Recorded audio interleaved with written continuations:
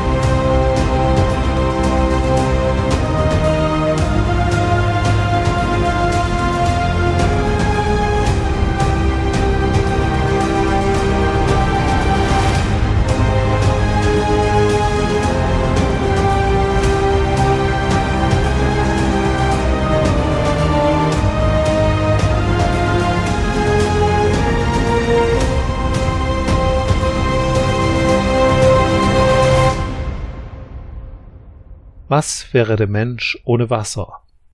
Was wäre die Erde ohne Wasser? Menschen waren vom Wasser schon immer fasziniert, manche von ihnen ließen sich sogar davon inspirieren. Leonardo da Vinci beispielsweise erforschte sein Leben lang die Natur des Wassers. Er studierte seine Bewegungen, seine Eigenschaften und entdeckte als erster die Kugelform eines Wassertropfens und somit die Oberflächenspannung. Seine Beobachtungen führten sogar zu weitreichenden und gefährlichen Thesen.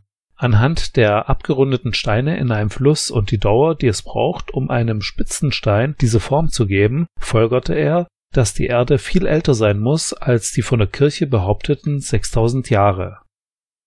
Der menschliche Körper besteht zu 70 Prozent aus Wasser, bei einem durchschnittlichen Tageskonsum von zwei Liter werden in 80 Jahren über 58.000 Liter Wasser getrunken. Unsere Existenz ist also maßgeblich vom Wasser abhängig. 70,7 Prozent der Erdoberfläche ist Wasser. Von allen Wasservorkommen sind 97 Prozent Salzwasser und nur 3 Prozent das für Menschen lebensnotwendige Süßwasser. Von diesen 3 Prozent wiederum sind nur rund 30 Prozent Grundwasser, der Rest ist an den Eiskappen und Gletschern gebunden. Wasser weist Eigenschaften auf, welche es von den meisten anderen chemischen Verbindungen gravierend unterscheidet. Man spricht hier von Anomalien und diese sind es, die Wasser chemisch gesehen besonders machen und für das Leben elementar sind. Wasser ist das beste Lösungsmittel.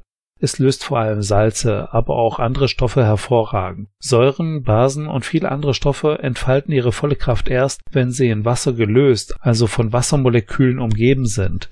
Demzufolge laufen viele chemische Reaktionen entweder ausschließlich im Wasser oder in Wasser besonders gut ab. Es ist nicht verwunderlich, dass das Leben auf der Erde vor 3,5 bis 4 Milliarden Jahren im Wasser begann. Alle uns bekannten chemischen Reaktionen in Lebewesen laufen in einer wässrigen Umgebung ab. Wasser ist somit der Raum für die chemischen Reaktionen. Da Wasser so ein gutes Lösungsmittel ist, kommt reinstes Wasser auf der Welt nicht vor. Irgendetwas ist immer in Wasser gelöst und seien es nur wenige Ionen. Reines Wasser ist geschmack- und geruchlos. Was wir schmecken, wenn wir Mineralwasser trinken, sind die in Wasser gelösten Stoffe. Wasser gefriert bei Temperaturen unter 0 Grad Celsius, beginnt ab 100 Grad zu kochen und ist dazwischen flüssig. Bei den meisten Stoffen ist es so, dass ihre Dichte mit sinkender Temperatur zunimmt. Wasser hat aber seine höchste Dichte bei knapp 4 Grad Celsius. Sobald das Wasser weiter abkühlt, dehnt es sich wieder aus und verliert somit an Dichte. Deshalb schwimmt Eis oben auf. Wäre es nicht so, würde es zu Boden sinken und das Leben unter sich zerstören. Da Wasser bei 1 Grad Celsius und 7 Grad Celsius dieselbe Ausdehnung hat, ist es als Anzeige in Thermometern ungeeignet. Wenn man es mit ähnlichen Verbindungen vergleicht, stellt man fest, dass es bei Raumtemperatur eigentlich nicht flüssig, sondern gasförmig sein müsste. Kohlenstoffdioxid, also das CO2, besteht ebenfalls aus drei Atomen, ist mit 44 Gramm pro Mol deutlich schwerer und im Gegensatz zu Wasser bei Raumtemperatur gasförmig. Unter anderem dem Wasser haben wir zu verdanken, dass wir auf der Erde so konstante Temperaturen haben. Das Wasser speichert tagsüber die Wärme der Sonne und gibt sie in der Nacht wieder ab. Auf unserem Trabanten, dem Mond, sieht das schon anders aus. Hier herrschen am Tag Temperaturen von plus 100 Grad und in der Nacht minus 150 Grad Celsius. Um zumindest die für uns relevanten Eigenschaften vom Wasser zu verstehen, müssen wir das Wassermolekül genauer anschauen. Wasser ist H2O. Es besteht aus zwei Wasserstoff und einem Sauerstoffatom. Wasser entsteht durch die Reaktion von Wasserstoffgas und Sauerstoffgas. 2H2 plus O2 ergibt 2H2O. Durch den Einsatz von Elektroden lässt sich dieser Prozess auch umkehren. Wasser zersetzt sich dann in Wasserstoff und Sauerstoff. Die Ursache für viele der genannten Eigenschaften ist nicht in der Summenformel, also H2O, sondern in seiner Geometrie zu suchen. Schauen wir uns zunächst das CO2 an. In dieser Verbindung liegt das Kohlenstoffatom in der Mitte. Die zwei Sauerstoffatome nehmen dem am weitesten entfernten Platz zueinander ein.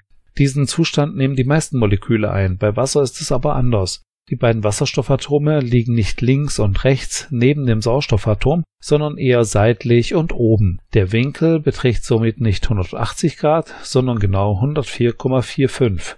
Der jeweilige Abstand der beiden Wasserstoffatome zum Sauerstoff ist dabei gleich. Was auf den ersten Blick relativ banal und unwichtig wirkt, ändert alles. Durch die besondere Anordnung der Atome entwickelt H2O nach außen Teilladung. Als Ganzes ist es zwar neutral, aber Wasser hat dadurch eine positive und eine negativ geladene Seite. In so einem Fall spricht man von einem Dipol. Der positive Pol zieht negativ geladene Teilchen und der negativ geladene Pol positiv geladene Teilchen an. Das mag sie vielleicht immer noch nicht zu Luftsprüngen verleiten, aber durch diese Eigenschaft zieht Wasser auch Wasser an. Chemisch gesehen gibt es zwischen zwei Wassermolekülen keinen Unterschied. H2O ist H2O. Durch den Dipolcharakter kommt es aber zu einer bestimmten Anordnung. Die positive Seite von H2O wird an die negativ geladene Seite angezogen und umgekehrt. Wasser hat eine molare Masse von rund 18 Gramm pro Mol. Das bedeutet, dass in 18 Milliliter Wasser 6,022 mal 10 hoch 23 Wassermoleküle enthalten sind.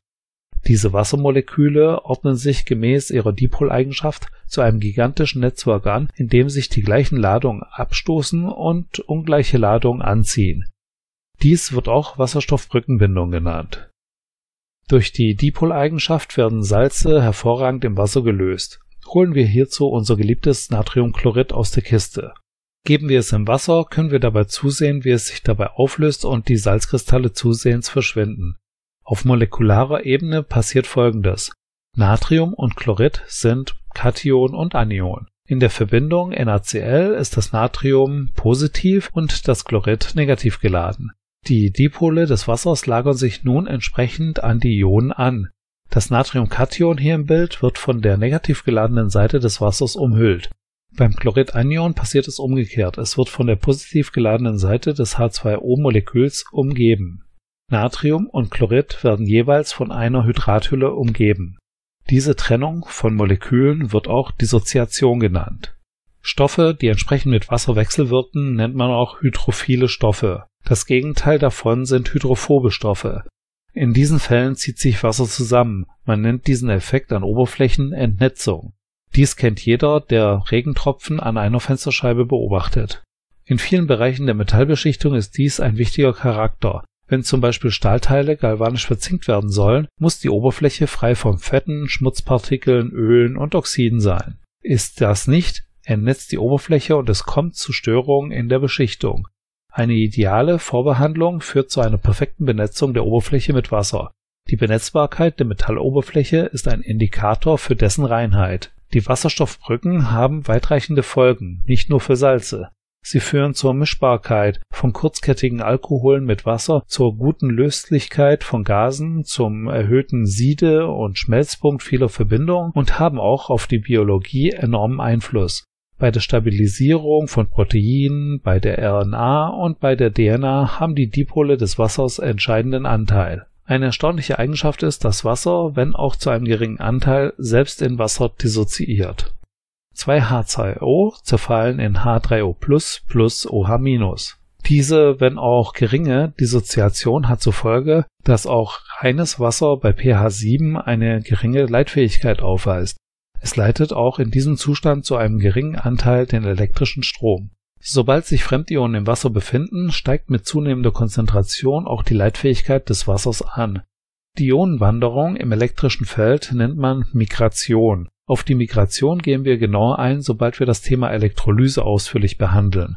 Dann werde ich auch darüber sprechen, warum die Leitfähigkeit von Flüssigkeiten ab einer bestimmten Konzentration wieder abnimmt. Wasser leitet den Strom immer dann besonders gut, wenn man Säuren oder Laugen hinzugibt. Säuren zeichnen sich durch freie Protonen aus, Laugen oder auch Basen genannt durch Hydroxidionen.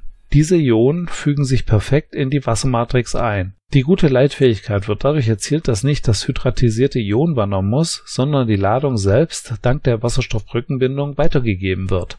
Dieser Effekt wird auch Grotthus-Mechanismus genannt. Jahrelang ging man davon aus, dass dieser Effekt auf einen quantenmechanischen Tunneleffekt beruhe. Mittlerweile weiß man, dass der quantenmechanische Effekt bei diesem Vorgang aber relativ gering ist. Warum diese Bindungen umklappen und die Ladung damit schnell weitergegeben wird, ist bisher nicht vollständig geklärt. Obwohl man einige Eigenschaften des Wassers wissenschaftlich erklären kann, gibt es vieles, was unklar ist. Erhitztes Wasser gefriert beispielsweise unter bestimmten Bedingungen schneller als Wasser bei Raumtemperatur. Der nach seinem Wiederentdecker genannte Mpemba-Effekt ist bereits seit den Zeiten von Aristoteles bekannt, bis heute aber noch nicht völlig entschlüsselt. Besonders erstaunlich ist, dass der Effekt bei immer gleichen Bedingungen nur zu rund 30 Prozent auftritt.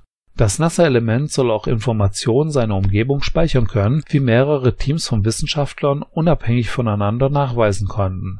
Es kann unter bestimmten Bedingungen Brücken über ein paar Zentimeter bauen, um sich mit anderem Wasser zu verbinden. Es hat manchmal den Anschein, als wäre es nicht nur der Raum für das Lebendige, sondern das Lebendige selbst, Seit Jahren laufen weltweit Untersuchungen, wie Informationen an das Wasser abgegeben werden können und wie sich elektromagnetische Strahlung auf die Informationsaufnahme auswirkt.